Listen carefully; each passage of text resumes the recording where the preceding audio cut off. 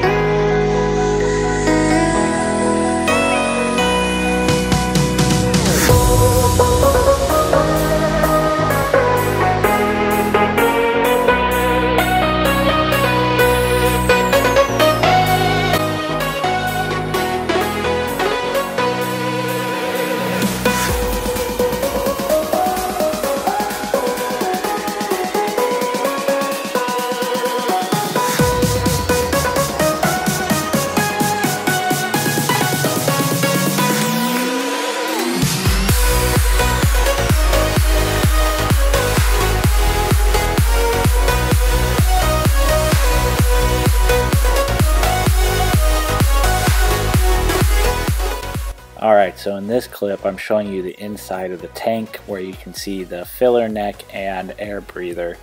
Um, what I'll be doing is a something called the harpoon mod which is actually trimming that white pipe of the filler neck so it doesn't stick down as far into the tank. What this does is it allows you to actually fill the tank up faster and more because the pump's not shutting off at the bottom of that neck anymore. So here you can see that I have trimmed off a few inches of it, nothing crazy, um, but it should make a difference in filling. And then here's another view of how much I trimmed.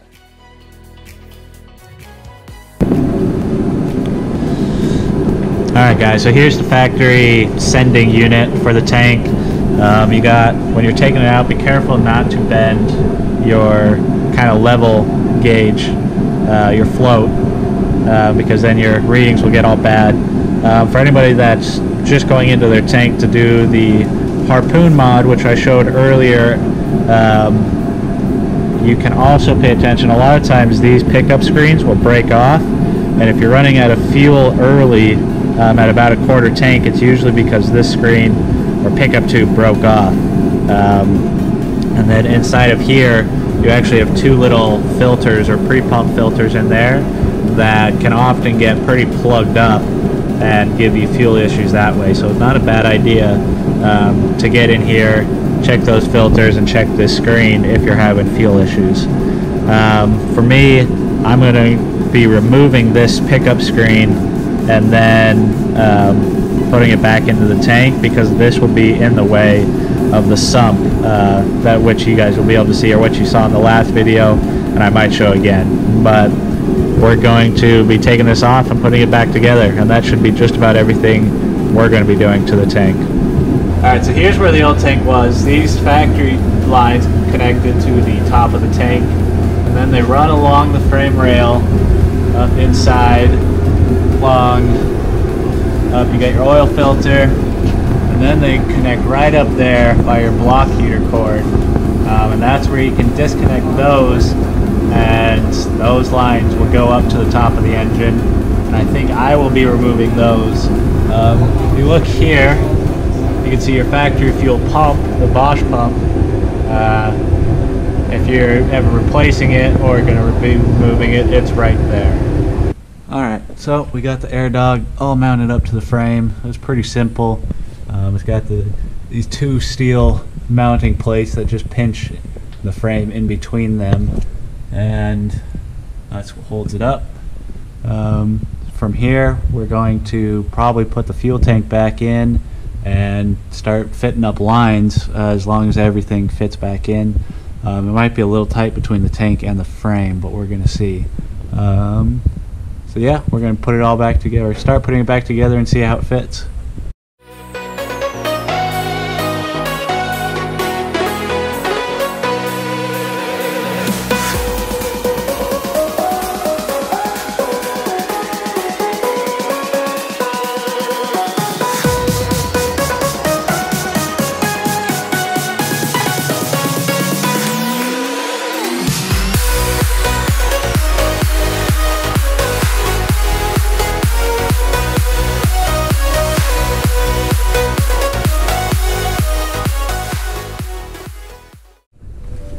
As you can see, got that part of the fuel sump in. That is what goes inside the tank um, that you actually clamp down onto so it pinches the tank in between itself, um, in between the bottom of the sump and that bracket. Um, it, you can see it's notched out. It's pretty simple. It's notched out. You just pop it in one side and then roll it up onto the other side of the tank. Um, we're going to install the rest of the sump and kind of show you how that works. Alright, so we got the sump assembled. This is the billet sump from G&R Performance or G&R Diesel. Um, pretty simple setup. We got the return line here. That just screws in hand tight into the sump. You got your O-ring which seals it, and then you got your two half-inch AN fittings, um, which have these uh, push lock fittings, so you can just push your fuel line hose onto it. Um, it's pretty simple. Uh, we'll put it up in the truck and let you see.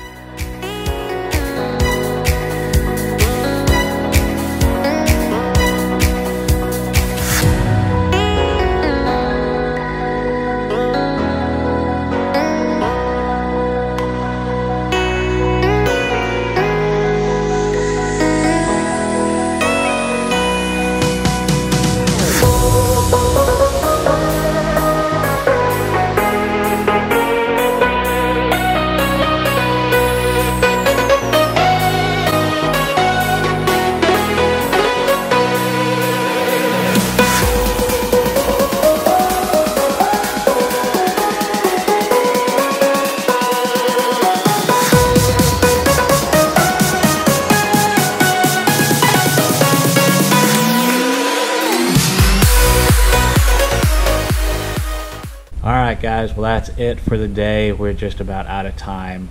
Um, made pretty good progress so far. Um, we got tank back in, fuel sumps in, Airdog pump is mounted. So all we have left to do pretty much is run the wiring harness, uh, run the fuel line up to the engine, and then put our fuel bowl delete in. So not too bad, should be one more day's work, and this thing should be back on the road. Uh, thanks for sticking around this long if you made it. Uh, if you like this video, please give it a thumbs up. It really helps YouTube share it more. Um, if you have any questions, please leave a comment. I'll be more than willing to answer what I can. Um, and make sure to stick around for the next video.